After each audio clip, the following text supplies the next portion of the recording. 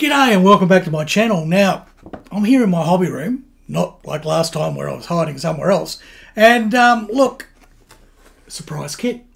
Now, it's Airfix, right? It's Airfix. you can see the red thing on there.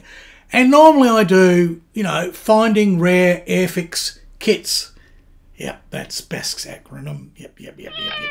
And that's the thing. They're um, they're either the vintage classic, like the Heracles that came out, that's re-released, but it's an old kit. It's an old kit's classic. Or I'm looking at some old sailing ship, or even that motorbike I did, right? That Norton 750. It's an old kit, way back from the 60s and 70s. Those Airfix kits, I love. I love them. And I have reviewed and, and done some build videos on some more modern Airfix kits, only like the recent decade or so. Some of the new kits. Loved everything. Always loved Airfix. Then this came along. Oh, hang on. Then this came along. Now, I have been hanging out for a 148 scale, right? Bristol Bulldog for years. There only were some crappy old ones from Pyro and somebody else that were made in the 1950s. Nobody that I knew of made a 148 scale one of these fellas, right? No Bulldogs. No. I do not bullshit you. There were no Bulldogs. No. So when Airfix announced that they were doing one, and not only that, they had a version of livery that was RAAF, right? So Australian, Australian. I was over the moon. I was excited. Oh yes, I had a TP in my pants about that. So, um, is it a good kit? Well, it looks good in the box, as you'll see. It does look really nice. The plastic is amazing. Uh, it's sort of not really an Airfix kit. Yeah, you'll see as we go into the video. This is so un-Airfix Airfix. And there's good and there's some bad about that. all right, does that sound interesting? Okay, let's get on with it. Roll the music.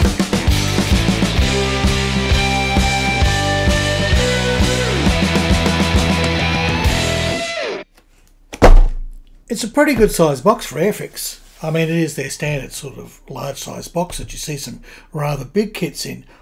But this is only a little bulldog. I mean, she's only going to be little. Well, I don't know, I don't remember the 172nd scale one, which was, you know, basically not much longer than a bee's dick. But um, I digress. Absolutely gorgeous box art. I mean, look at her. She looks just wonderful. And what always attracted me to this aircraft is this fantastic radial engine and, you know, the uh, the more modern sort of stiff struts and just the well, they'd be all silver, which made them look faster anyway. You know, those those interwar period um, aircraft that were still biplanes but had a lot of metal in them. And it's just like the Fury, which I did. It's big. The back of it will be dull aluminium, and the front will be very, very shiny metal because they'll be actually full metal panels, and this will actually be doped aluminium doped um, canvas. Panel lines will be pronounced because there's metal panels going to canvas. Canvas will be subtle because it'll just be, you know, slightly scalloped. You don't want anything overdone, you don't want anything underdone. Airfix has done a pretty good job with this in the past. At least they slightly overdo the panel lines, sure. That's because you're supposed to hand paint them. That's what they're designed for. Let's see what they've done now. Look at the box. It'll tell me that this is Hornby, which of course, you know, owns Airfix at the moment. Model design and tooling 2024, so you know it was actually designed now. It's not a rebox. Um, decal scheme and pack design 2024. That's always good to know, right? Da da da da. Doesn't tell me where the plastic was made because I wonder if we're still getting plastic out of India or if this plastic was done in Blighty. There have been rumours that Airfix is going to do its own injection moulding back in the UK. I don't know if that is true. If you know, let me know. All right, box is open, and that's as far as I've gone. I cut the little little tabs there so I could open the box and yes, everything is in one bag, but at least these days with Airfix, the sprues have frame edges around them and they fit the bag. So there's less chance of parts suiciding and destroying themselves. So that is all good. So look, it's looking actually pretty good through there. We're going to get these out in a sec. Typical Airfix instructions, and we get quite a few colour schemes. Right, I'll be going with the Australian one, which of course is upside down because I'm in Australia. Of course. Yep. We'll go we'll have a look at that in a sec.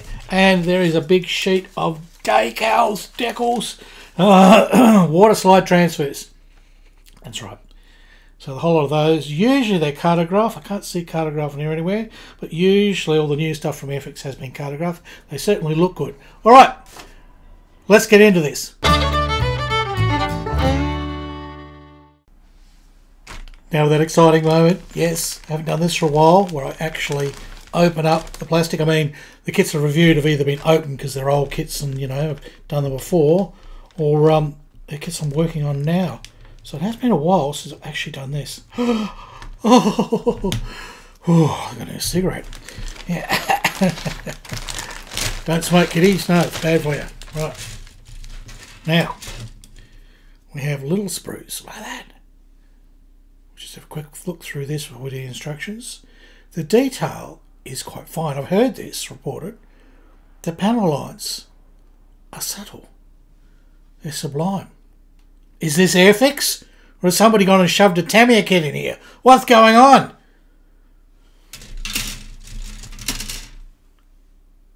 Look at that. Same again. That's an incredible amount of subtleness. Well, that's good. And I mean, you'd really want to airbrush this because it is very subtle. There's no excessive you know, over scalloping on the wings. They're fine. And all the little details look fairly tight.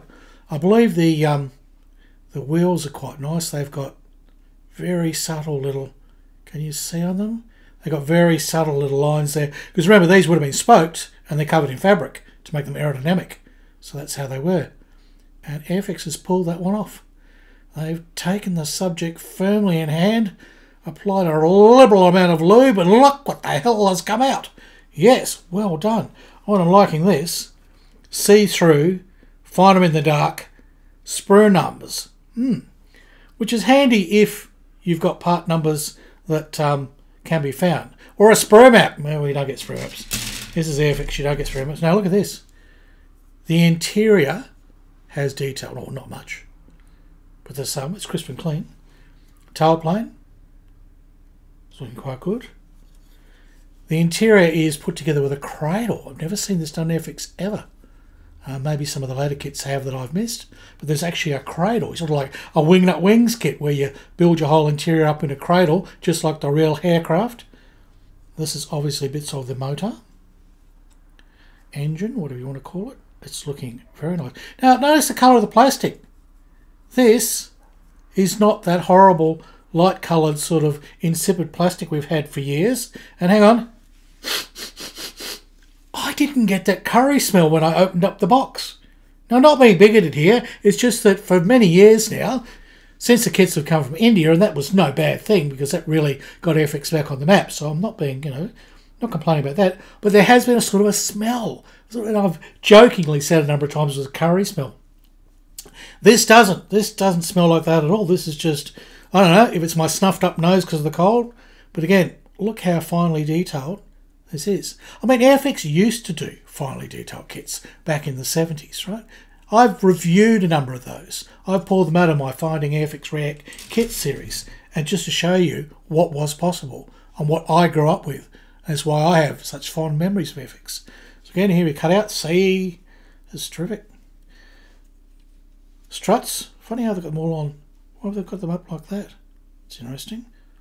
Who knows? There must be a real good reason for that pretty strange. So sort of maybe it was better to injection mold them that way, so that they'd actually fit better. Who knows? Well, they have. This is clever. They've joined the little knobby bit that's going to go into the wing exactly at right angles, right? So exactly across two with a tiny little join. So these aren't the great big thick airfix sort of sprue joins that everyone whinges and complains about.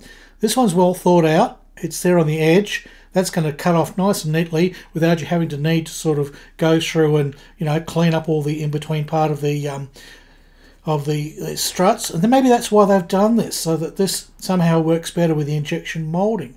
Who knows? Because my bane is struts and rods and things that have got a sprue point there and then you've got to clean it all up and you know invariably break the bloody part. It's hopeless. Now this is all looking quite amazing. And um, here is a rudder and again, subtleties. Subtleties. All nicely done. Nothing's over exaggerated. It's spot on. airbrush that. It's going to look fantastic. Tiny little details like the navigation light. This is all looking very, very good. Very, very good. And we have some clear parts, which I'll leave in there for the time being. Well, they're clear. That's all I can say. They're, well, they're not as thick as they've been in the past.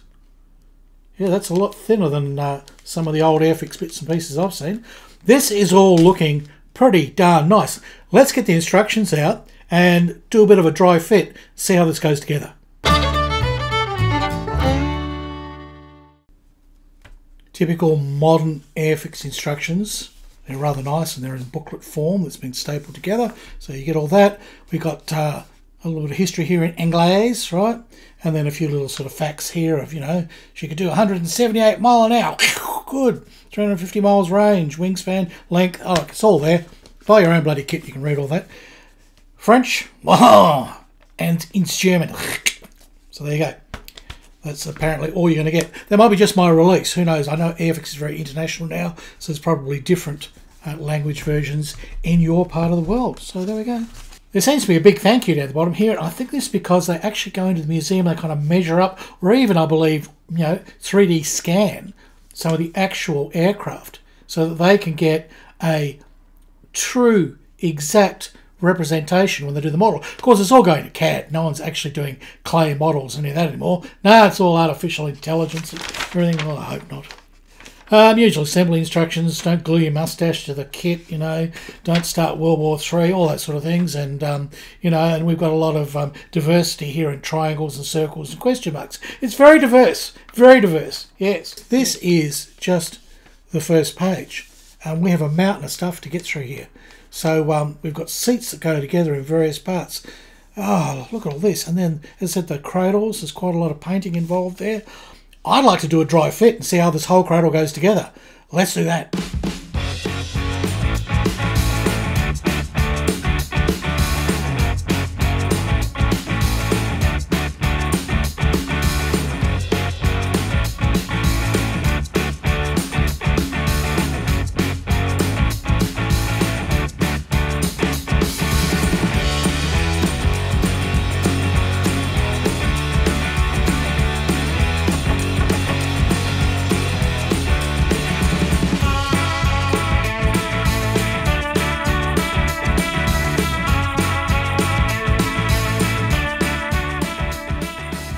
One was a bit fiddly, but I sort of got there. Two was very fiddly because it's vagueness of locating points. Three wasn't bad, but then you had to find that basically everything needed to be lined up. Yep.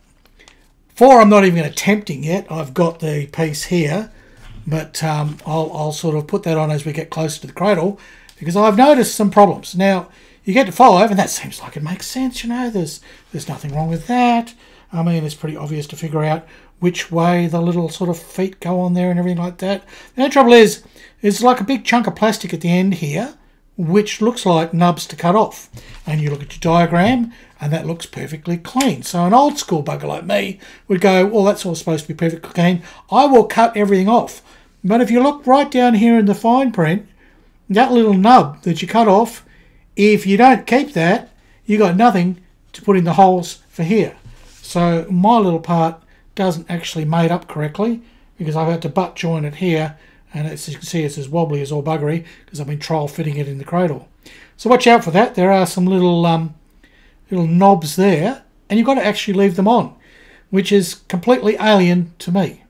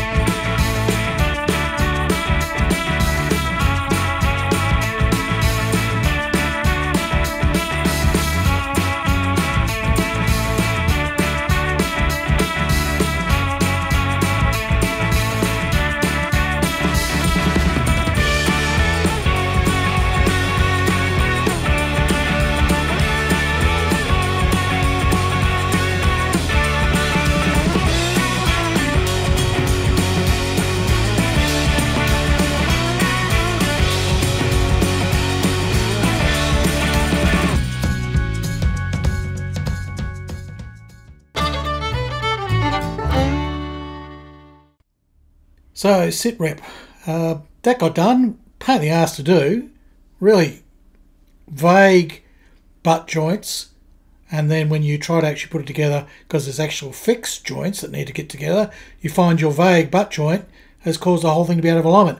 I don't care at this point. That's done. thing I want to know is, does that fit inside the fuselage without there being any problems from the cradle? And how much of the bloody thing you actually see anyway? So is it worth doing any of that? Alright, here's the same instance that I had before. I've cut off some little nubs here that we don't need. This one here I was just about to cut off, but I'm now so shit scared I'm looking forward, and that's actually designed to help you align and connect parts together. And similarly, you've got to really check because that there looks like something that you should cut off, but that's actually a part that needs to be kept there, that little bump, and you'd cut that off. I mean, with all the parts they made for this kit, you'd be better off with a hole there and you pop that little thing in. It makes sense because it is getting really hard for me to understand what do I cut and throw away and what do I keep in this kit. Very confusing, Airfix. So with the cradle now created, I'm going to skip all these little bits here because there's lots more to add. There's the guns to add and all the rest of it. There's no need for a dry fit. And also, what I really want to know is how much of this thing is actually going to be seen inside the fuselage. Well, let's have a look. Now, as per the instructions, that way up, seat goes up, that goes in as far as it can go there, it has to bang against that, so that's obviously where it's got to sit. Finally got all this together instead of paranoid against what was nubs and what wasn't. Well, the little clicky system is good, and it does sort of fit, so we've got that. You've got to hope that there's not going to be that much cleanup. But here's the problem. All you see is a bulkhead, a seat, a yoke, and you know, you might sort of see some pedals. That's it, Airfix. I would rather you didn't have all that shit and instead you gave us a pilot.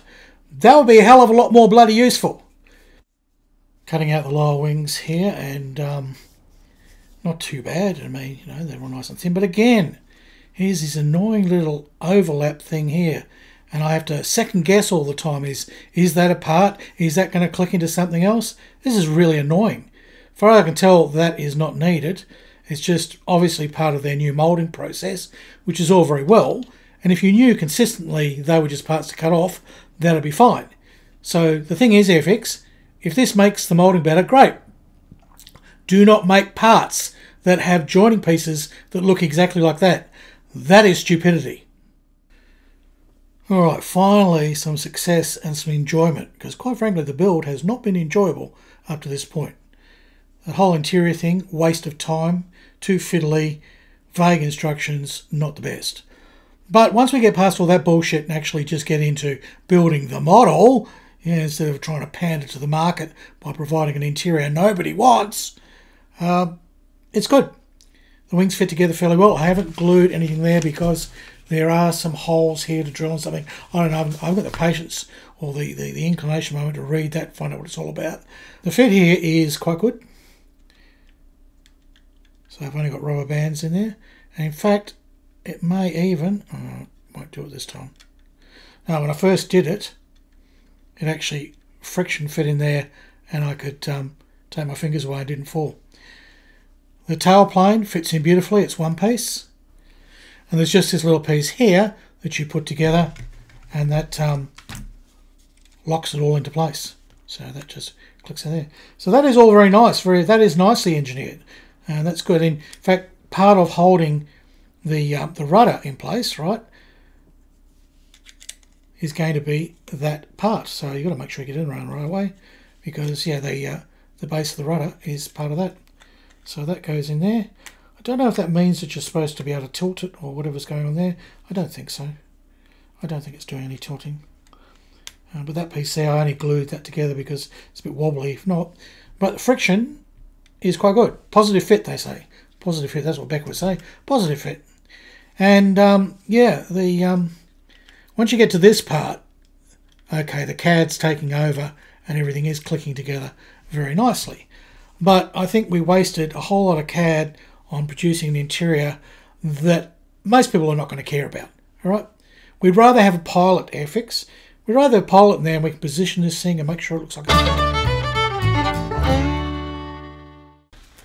So here's the motor, and as you can see, there's a lot going on. You build up quite a lot. That looks fun. That's worth spending the engineering on for all the little pieces. Because guess what, FX? They will be seen. And you've got a nice prop and everything there. You've got bombs there to go on there. Oh, there's, there's so many things.